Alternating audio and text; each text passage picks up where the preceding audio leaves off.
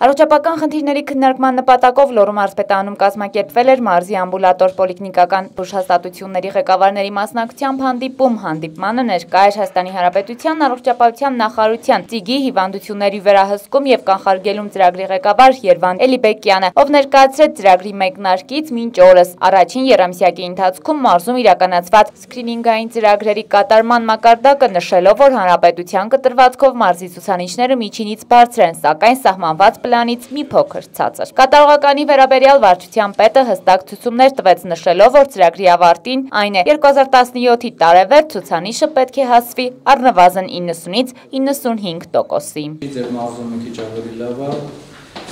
բայց դեռ բոլորս անելիքներ ունենք այդ ուղղությամբ։ Ուրեմն ես չեմ ուզում անդրադառնամ ծրագրի ուղղվածությանը, բոլորը դա 50 տարի է ընդգրկված եք ծրագրի մեջ եւ գիտեք որ ինչին է վերաբերվում շաքարային դիաբետ, արկադի բանացի քաղցկեղ ու զարգերակային գերճնշում